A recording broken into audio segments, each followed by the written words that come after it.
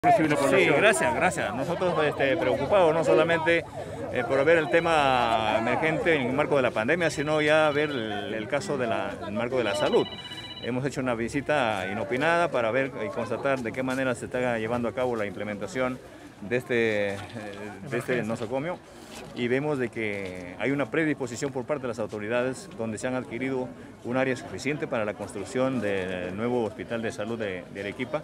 Nosotros estamos haciendo una, eh, estamos destinando un presupuesto de más de 400 millones de soles y esperamos de que se trabaje a la brevedad posible.